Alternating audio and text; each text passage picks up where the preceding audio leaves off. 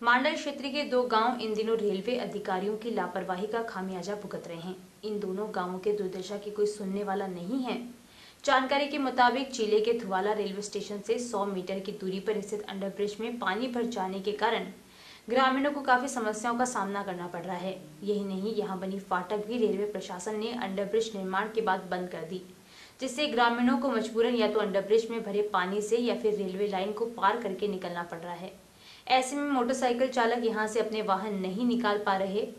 ग्रामीणों ने कहा कि नीम खेड़ा ब्राह्मणों का खेड़ा गाँवों से दूरी और जाने का एकमात्र स्थान यह रेलवे फाटक थी, जिसे कुछ माह पूर्व अंडरब्रिज निर्माण के बाद बंद कर दिया गया। हमारे खेत रेलवे लाइन के दूसरी ओर पड़ते हैं। इसलिए कारण हमें या तो रेलवे लाइन क्रॉस करनी पड़ती है या फिर अंडरब्रिज में भरे पानी से होकर जाना पड़ता है।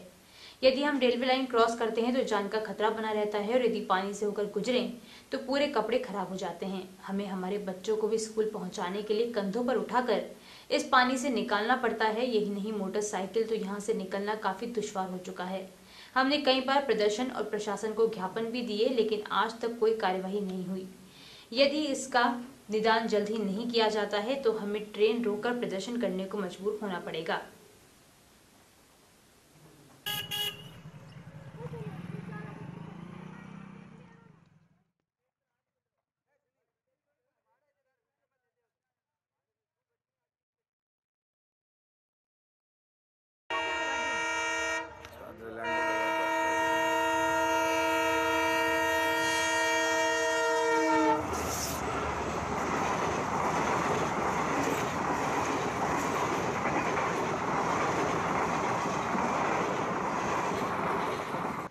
बाकी फाटकों की ये जो हुक्म मैंने दो गुना पा रहा खेत फाटक ही पाड़ा आइया मगर सोलह सोली सब वो पा रहे खेत बाकी नहीं रहा मगर खेतों में सारा एरिया है तो आप भाई फाटकों की बंदोबस्त करिए आप ये खोल आप यहाँ मगर बने तमाम दुख पा रहा तमाम दुख पा रहा बाप रहा बहुत घबरा रहा मगर आप बंदोबस्त करो।